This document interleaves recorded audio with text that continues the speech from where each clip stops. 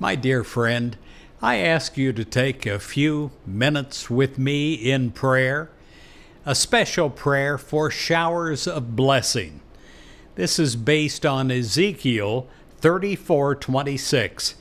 I will send down the showers in their season.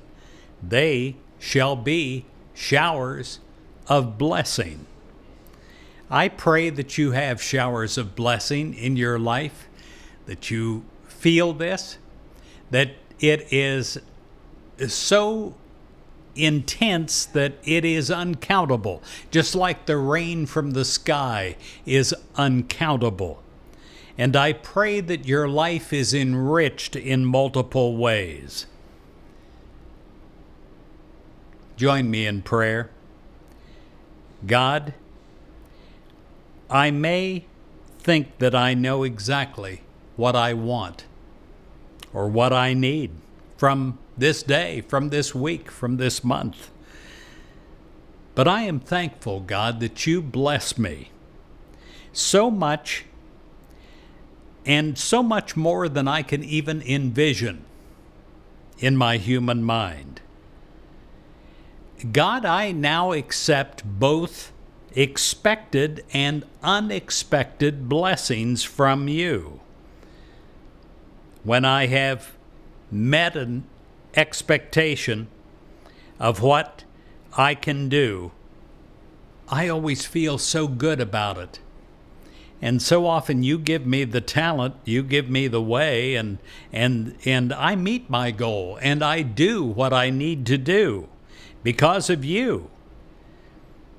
Sometimes, God, when you're with me, I go over the top in accomplishing some goal and I have a greater realization in this because I know that it's greater than I could ever do by myself.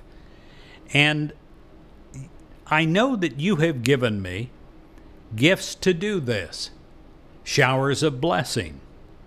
And you have given me the understanding and the strength to make a giant leap forward.